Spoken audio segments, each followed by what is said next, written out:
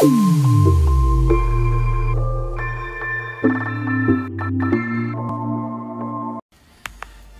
everyone. Happy New Year. I'm wishing you a successful and prosperous new year.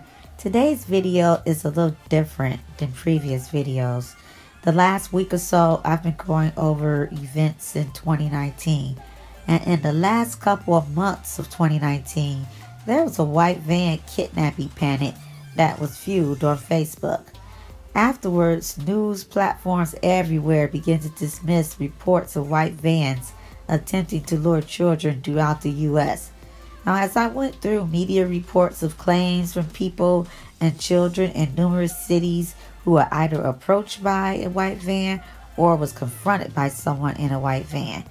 Now, I have some clips of stories involving white van, possible abductions, and you decide if there's something more sinister going on or are these just random occurrences. Taken captive, allegedly beaten inside a white van. Authorities moving in after a dangerous chase Here's ABC's Steve Osunsami with the details and the chilling scene they discovered inside that van.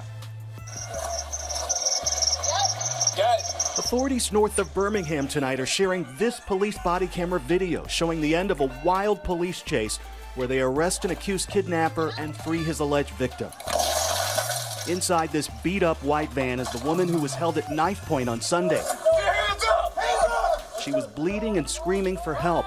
Police negotiated for more than half an hour and were able to get her out first. Still inside is the man police are identifying as Sean Sanders, who was not giving up easily and had to be tased. We were just terrified because we didn't know, you know, whether he had a gun, whether he's going to be shooting or what. Witnesses say he tried to drag the woman into the woods and was stopped by a man from a nearby church who followed the van and called police. I didn't have all the facts. The only thing I did know, I wasn't going to let him leave without the police checking it out. In their report, police say the van had a cage in the back, wire cages over the windows, with blankets covering the inside. The doors were also chained shut. The city's mayor says Sanders is from Los Angeles, was homeless, and was living out of his van. Sanders is in jail tonight, facing kidnapping and attempted murder charges. The woman who was rescued suffered more than 30 blows to the head with a tire iron and is at home. I'm feeling really good. I'm just, I'm glad they didn't take me. He says two days ago, this van pulled up to him near his house while he was getting ready for a water fight with friends. He mumbled the first time, and then I go, what? And he says, get in, get in. And I go, what? And then he goes, get in the van. Parton, who had two friends standing nearby, says he was so shocked by what the man said, he just stood there, frozen. I thought he was probably gonna, like, maybe abuse me or like kill me possibly. But we, we were all really scared. Fortunately, as another car drove up, the van took off. It's terrifying. Um, we moved into this neighborhood because of it being family oriented and um, uh, safe. Jennifer Parton says a neighbor's doorbell camera confirmed her son's story, telling Fox 31 the video was hard to watch. It made me worry about the younger ones um, would they have made the same area. This happened around 8 o'clock yesterday morning near 87th and Crandon. That's in the Calumet Heights neighborhood. The 13 year old girl was on her way to school and she told police two men got out of a white panel van that had a silver roof rack. She says both were wearing ski masks and they were dressed in all black from head to toe. They grabbed her backpack and tried her tried to pull her to the van saying, "Come here." But she was able to break free in the process, breaking a strap on her backpack, and she ran to school. Now, parents at Thomas Hoyne Elementary received a letter home yesterday alerting them of the investigation, and detectives were out knocking on doors looking for information. Lookout after someone tried to abduct two little girls.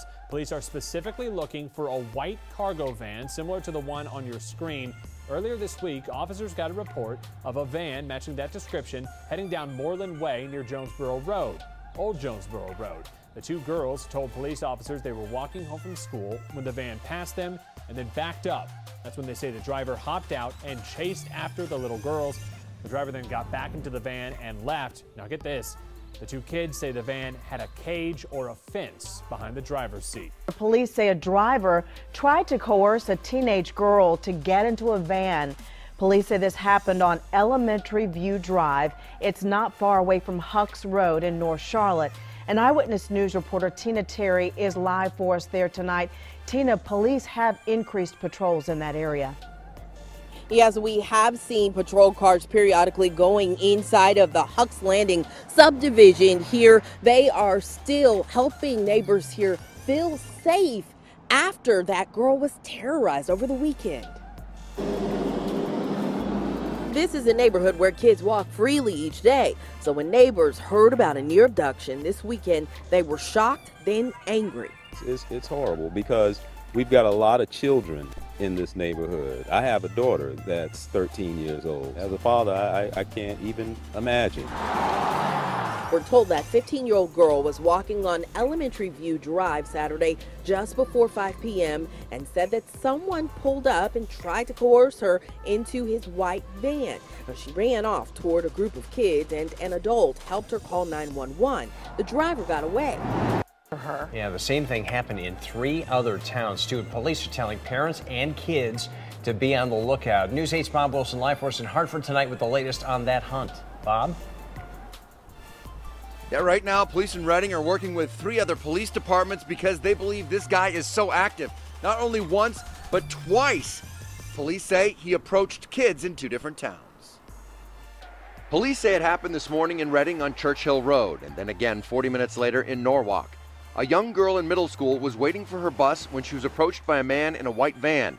She turned and ran home, and the parents called 911. It was very smart not not to engage the person, in, you know, in conversation, and you know, did the appropriate thing so we could investigate it. It didn't take long. Police put out word to the school, and they alerted the parents. And pretty soon, many in the town knew what to look for. A white van with a ladder rack on top and no ladder. The exact description released by police is a white work style van, a ladder rack with no ladder, dirty but in good condition, and the last three digits of the license plate are CVW or CWV. It's alarming. It is, especially when you hear white van, you know, chasing a kid down the road. Yeah, I mean, any any kid will be would be scared, you know, frightened. I mean, boy or girl, you know, having somebody just slow down, roll their window down. Police say that it happened about 8:30 in Redding. 40 minutes later, there's another 911 call in Norwalk. Same thing, same color van approaches a young girl offering her some candy to get in the van. It also happened in Danbury and then again in Bethel over the last couple of weeks. That's pretty horrible. Looking for him. They're also looking for the victim. And CBS 2's Jasmine Viel live in Sylmar right now. And Jasmine, you're going to show us the, this video. You also spoke to the witness who recorded it. Yeah, that's right. And this all happened around this time yesterday in broad daylight. And the man who lives in that home captured this frightening ordeal on his security camera right there on the fence. Police now very lucky to have that video and another piece of critical evidence in finding this woman. I just pulled up in my car and then I heard a commotion going on. Luis Alas just happened to be home yesterday afternoon when he heard a woman arguing with a man on the other side of his fence on El Dorado Avenue in Sylmar. I just heard her hit me yelling, get in the effing van. And then she was like, no, my mom's gonna pick me up. And she yelled that out a couple of times. And what he saw minutes later on his security camera, even more disturbing. Grabbed her by the hair and threw her inside. He immediately called 911. The video begins with the woman in her mid 20s to 30s walking on the side of the street around 12:30 p.m. A van abruptly tries to cut her off. As she crosses over to the other side, the light blue Chrysler pulls up beside her once again. A heavy-set man gets out and they start arguing. Another woman remains in the passenger seat. After a few seconds, the man opens the van's sliding door, and as she starts walking away, he grabs her by the hair and yanks her toward the back, roughly throwing her inside. Regardless if you know each other, you don't force somebody in the van like the way he did to her. And watch as a beer bottle the woman was holding is tossed out the window by the front passenger. No doubt a critical piece of evidence for police to fingerprint. Alas says he does not recognize the van or anyone in this video, but at least was able to alert police about this crime that no one else might have noticed. Now, looking into these possible van abduction stories, I found accounts from some women who believed that their Uber drivers was possibly attempting to abduct them for sex trafficking purposes. There was also some talk about people um, who participate in sex trafficking or um, human trafficking or things of that nature that they were going from, or pedophile rings, were going from the white vans to Uber drivers. Um, that's debatable. I don't know, but that's just the talk that, as I was researching, that um, many times that I would see. So upon listening to these stories, you know, you can't help but to think that there may be validity to this notion of Uber drivers procuring women for sex trafficking. So here's some clips regarding some of those tales, and um, I will be back. House Now working on the project with you know Neen and Michelle is just whatever I was feeling. I have been feeling that way for the past few days, and some of you may have heard me mention that I was supposed to go to a brunch yesterday and then this party. Moving forward to what happened when I left the party. I took an Uber out there because it's like 40 minutes from where I live. So I took an Uber to the event and I called for Uber to pick me up. The Uber driver came to the location of where I was. One of my guy friends saw me getting in the Uber and he was like, Don't get in that Uber. He was like, I'll take you home. Like, why? Like, don't get in that car. And I'm like, It's all good. I've already, you know, it's already paid for. So I'm going to, you know, go ahead and leave, you know. And I was like, but I, I didn't have his number. Like, I call him a friend, but I always see him at this spot whenever I go. So I said, just I'll just give me your number and I'll talk to you the entire way until I actually, you know, get home. And he was like, okay, I got his number. So the Uber driver was looking at me, just turning back around. Smile. I had on a like a fitted, like it's called a tuxedo dress. So I had on this tuxedo dress, kind of cut open in here, and it was a short dress with some boots on. The guy started slowly pulling off of the lot. But I'm looking at my phone. My phone is not showing me that he has actually even picked me up yet. And I said, hold up. I said, it's not showing on my phone that you have picked me up.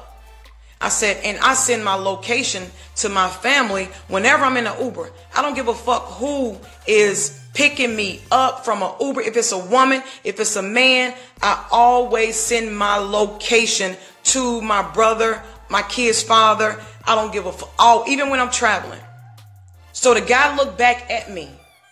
He was like, huh? I said, ain't no fucking huh? I said, why haven't you started the fucking trip? I look up at his phone. His phone is in the holster, the little thing that you have to have, whatever. The screen is black. The screen is fucking black. And he had his phone to the side. And I said, why is he, I said, why isn't your phone on? He didn't respond to me. And I said, push the fucking button on your phone so I can see that your phone is on. Do you guys know that this nigga tapped his fucking phone and the screen was black? His fucking screen was black. He had never fucking accepted the trip and I am in his car. He started driving off out of the lot and he we get on the street. And I said, stop the fucking car. Like, stop the car.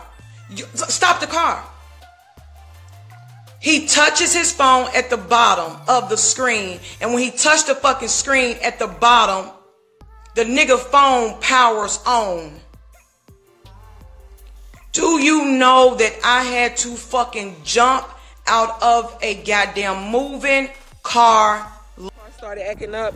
So her dad told me to catch a Lyft and leave my car there and he would fix it for me. So I called the Lyft, got in the car with the Lyft, noticed that they were taking all these different turns, no major streets, was not following the GPS that they were supposed to be following. So I asked the guy, I said, why are you making all these turns? You know, this not the way to my job. And he wouldn't answer me. He kept on just driving. So I'm noticing that I'm going down these different sidewalks, these neighborhoods. I'm so no- nervous. Like I can't even really talk. So I'm asking the guy, like, why are you turning here? This is not the way to my job. So he kept telling me to be quiet, be quiet, be quiet, like, hold on, I know what I'm doing. So he pulls up behind this other, he pulls up behind this other car, like a big truck. I don't even know what it was. So I'm like, just nervous because I'm on the phone the whole time and I wasn't paying attention the whole while that he was making all these turns. So I asked him, why don't you go around this truck? Why you just sitting behind this truck like this, I have to get to work. And then he wouldn't answer me. So a black guy got out of the truck. He had braids in his head and everything. And he started opening the gates to this warehouse or whatever it was and was telling the car that I was in the Lyft driver to back into the warehouse or whatever. So I'm like, what are you doing?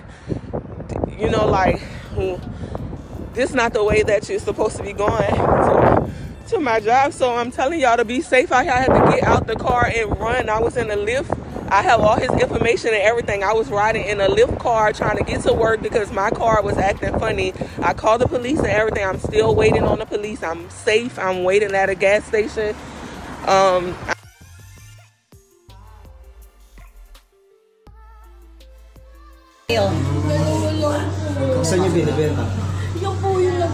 Saan nga niya binibenta? Kahit saan po kasi walang wala po siyang pera. Magkano binibigay sa'yo? Bigyan lang niya po ako sa libo. Pinapadala ko po sa Mindoro. Ilan ang naibigay mo sa kanya? Pero yung isa taga saan? Yung ano po, sa. Pag under na rin siya po. Nakita po sila sa SM. Tapos lang po nag-out kung mayroon. Magkano binayad? Hindi ko po alam kung magkano. Basta binigay lang po niya sa akin. Sabi ko, pinapadala ko po sa. Tapos yung isa na bawi?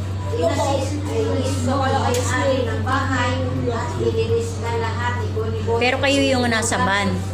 Hindi po, hindi ko po yung nasa pan. Wala po sila sa ulit lang po. Kailan pa kayo simula yun? Ay, bago sali lang po. Ako sa kanya kasi no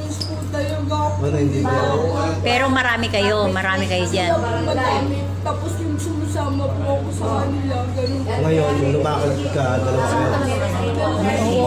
Nasaan yung isa? Sandali na, na ko. Sandali na eh. Nagsasalita siya.